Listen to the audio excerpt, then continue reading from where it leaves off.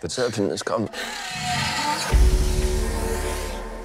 She was taken for her sins. No, it was an accident. God will look after her now.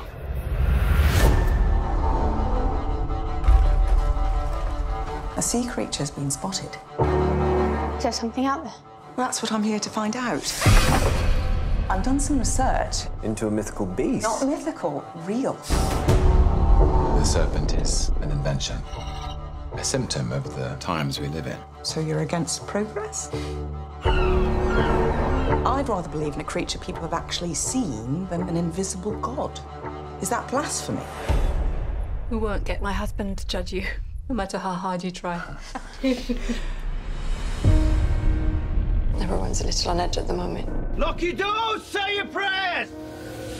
You're trying to understand, trying to find the truth. We must all follow our passions. I couldn't agree more. I'm scared. It's in us. We brought it here. Brought what here?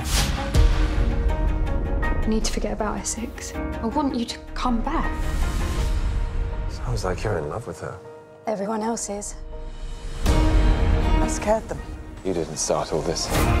We can't control our inner thoughts, but they can influence us.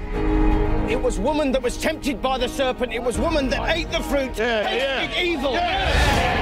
You let them accuse me. You said nothing. I'm their pastor. So you can't be my friend and a man of God. I can't think clearly when I'm around you. I won't be blamed for your weakness. Love is not a weakness.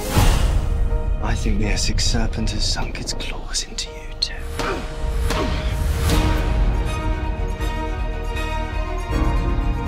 Every one of us lives with doubt and fear. Now is the time for us to come together. Don't be scared. It's when we're most lost